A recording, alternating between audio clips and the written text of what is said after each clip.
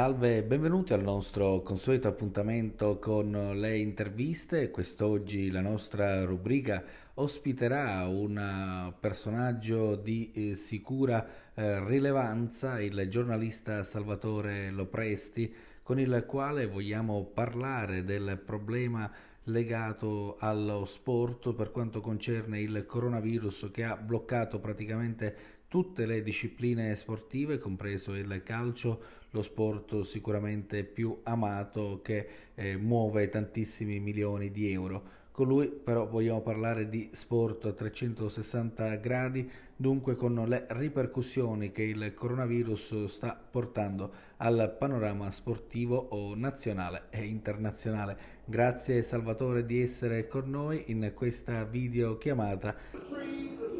Eh, buonasera a te a tutti i telespettatori e a tutti gli sportivi marsalesi. Eh, certo il coronavirus ha, eh, oltre a sconquassare le abitudini di vita degli italiani, ha provocato grossissimi eh, disagi anche al mondo del calcio, a quello, a quello che eh, lo spettacolo preferito degli italiani, lo sport è lo spettacolo preferito degli italiani. Probabilmente sul calcio giocato eh, neanche l'ultima guerra aveva provocato eh, danni talmente eh, forti perché tutto sommato i campionati anche se con formule miste eh, diverse eh, geograficamente ehm, organizzate in maniera diversa eh, si era quasi sempre giocato. Eh, la, la sosta vera e propria era stata sì e no di un anno. Qui siamo ormai a alcuni mesi di inattività completa e non si sa quando si potrà riprendere, se si potrà riprendere, se il campionato potrà arrivare alla uh, giusta, uh, alla tanto auspicata conclusione. È quello che le autorità calcistiche e soprattutto la Lega e le società stanno cercando di, di fare, eh, di evitare una fermata globale, una cancellazione della stagione, ma ancora non ne siamo certissimi, anche se le ultime eh, notizie sulla base della diffusione del, del virus e del, del, calo dei contagi lasciano qualche eh, eh, spiraglio di ottimismo eh, tutto è in mano ovviamente ai numeri, è in mano al, a, a, ai, ai medici, alle autorità sanitarie che sono loro che devono dare eventualmente l'autorizzazione a riprendere sia a porte chiuse che con gli spettatori in campo, eh, una soluzione secondo me ancora abbastanza lontana quest'ultima. Eh, L'UEFA sta cercando in tutti i modi di privilegiare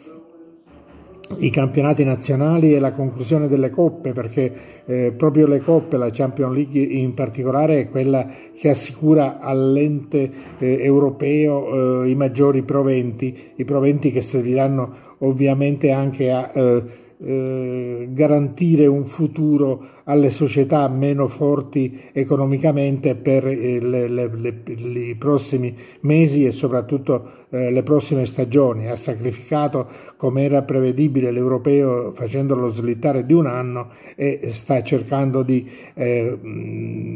rendere i, i, regolamenti il più elastici possibile in maniera da adotta, adattarsi a quelle che saranno le disposizioni dell'Istituto della Sanità, però eh, tutto dipende ovviamente da quello che diranno eh, i medici, le, le, le, autorità governative in eh, relazione alla pericolosità non solo per gli atleti ma anche per i tifosi, per gli spettatori, perché eh, concludere il campionato a porte chiuse sarebbe eh, una, una, vittoria di Pirro, sarebbe eh, tutto sommato una eh, cosa abbastanza triste, anche se ci saranno le televisioni che potranno portare lo spettacolo nelle, eh, nelle case dei tifosi, ma giocare senza eh, pubblico negli stadi,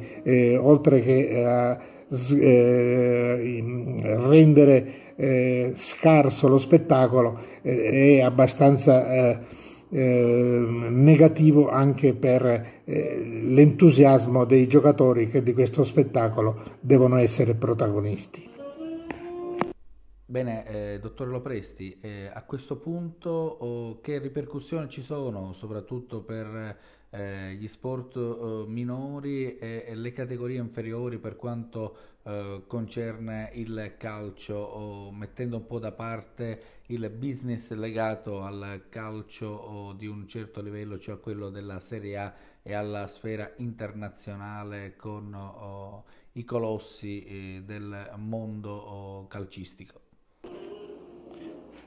Gli effetti del corona, coronavirus sulla stagione saranno ovviamente, come dicevamo, eh, piuttosto pesanti, ma saranno pesanti anche sul prosieguo dell'attività calcistica. Innanzitutto ci saranno molte società che soffriranno molto della mancanza degli ingaggi, perché se i grossi club come la Juventus, l'Inter, il Milan, eh, la Fiorentina, eccetera, potranno andare avanti, eh, lo stesso Napoli certamente, potranno andare avanti senza grossissime preoccupazioni, eh, facendo qualche piccolo sacrificio e qualche aggiustamento ai loro bilanci, le società di provincia soffriranno moltissimo. Eh, ne risulterà ovviamente sconvolto anche la campagna acquisti, perché eh, tanto è vero che si parla di una campagna acquisti prolungata, il, eh, che durerà probabilmente da quando si aprirà fino alla fine dell'anno, non alla fine dell'estate. anche per i giocatori eh, non, sarà facile per i, i, grandi campioni sicuramente troveranno sempre i loro lauti ingaggi ma i giocatori della, della fascia medio-bassa troveranno anche difficoltà a trovare un ingaggio e per questo l'atteggiamento dell'associazione calciatori dopo la prima proposta della Lega di tagliare quattro mesi di stipendi è stato abbastanza duro perché eh, anche se eh, è sembrato un po' ingrato eh, da un certo punto di vista probabilmente l'atteggiamento eh, dell'associazione calciatori si eh, riguarda più che altro i giocatori di fascia medio-bassa, non i grandi campioni che il loro, il loro contratto lo, lo, lo, strappano sicuramente sempre in, in, con, con una certa facilità. E poi bisogna pensare anche ai posti di lavoro che si perderanno, bisogna pensare alla Serie B, ma soprattutto alla Serie C, ai campionati dilettantistici, dove sicuramente ci sarà un'ecatombe di società e, e un'ecatombe ovviamente di posti di lavoro. Quindi le conseguenze eh, saranno sicuramente pesantissime per tutto il movimento calcistico ed è per questo che anche il, la FIFA, la, l'UEFA, il CONI, eh, le, tutte le, le organizzazioni eh, che presiedono all'attività sportiva si stanno dando da fare per cercare di eh, un, un'ancora di salvataggio, un paracadute eh, per lo sport che dal, da, da, da, dai contratti di, di, degli sponsor e dei diritti televisivi trae meno proventi di quanto non lo, non lo trae il, il, il, calcio di vertice che eh, ricordiamo, il, il, calcio di vertice è un'industria che produce spettacolo e eh, rappresenta oltre un,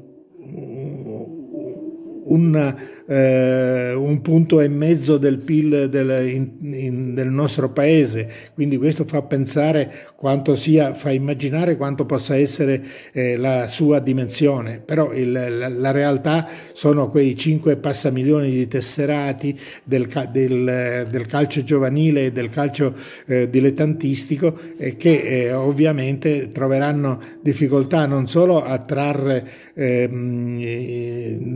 degli emolumenti dalla loro attività, ma addirittura ad avere le possibilità di praticare il loro sport. C'è da, da, da auspicare che questa eh, emergenza finisca presto e ci sia il tempo per riorganizzarsi e rimettere in sesto la macchina del calcio eh, che non è, ricordiamo, il calcio dei divi, il calcio dei grandi club, ma il calcio che praticano i nostri giovani.